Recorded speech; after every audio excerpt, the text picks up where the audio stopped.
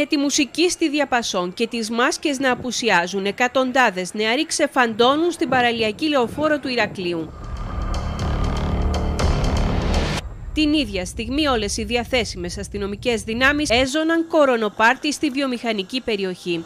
Το Ηράκλειο έζησε μία ακόμη νύχτα ξέφρενων κορονοπάρτι παρά τις αυστηρές προειδοποιήσεις και την πρόσφατη παρέμβαση του εισαγγελέα. Έχουν προηγηθεί επανειλημμένα εικόνες ηρωής στην παραλιακή λεωφόρο και θύελα αντιδράσεων από τους κατοίκους της περιοχής.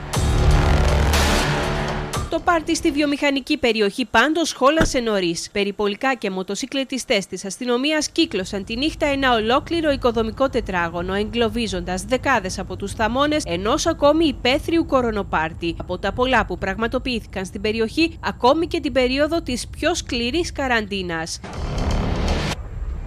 Το σκηνικό που στείνεται κάθε Σαββατόβραδο στην παραλιακή λεωφόρο ξεσήκωσε και πάλι θύελα αντιδράσεων από τους περίοικους που είδαν εκατοντάδες άτομα να συνοστίζονται και αυτό το Σαββατόβραδο γύρω από καταστήματα που πολλούν αλκοόλ υπό τους ήχους της μουσικής στη διαπασόν.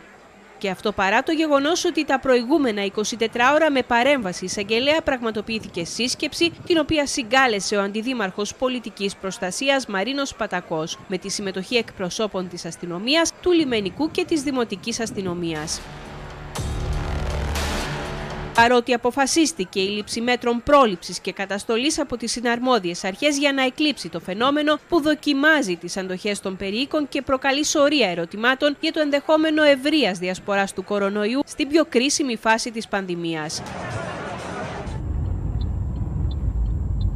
Η έφοδος στο κορονοπάρτι της βιομηχανικής λίγες ώρες μετά τις εξαγγελίες του Νίκου Χαρδαλιά για σύσταση ειδικών ομάδων ελέγχου απέφερε βροχή προστήμων για πολλούς από τους δεκάδες θαμώνες που ελέγχθηκαν εξονυχιστικά από τους αστυνομικούς. Έρευνες πραγματοποιήθηκαν ακόμη σε σταθμευμένα και διερχόμενα οχήματα.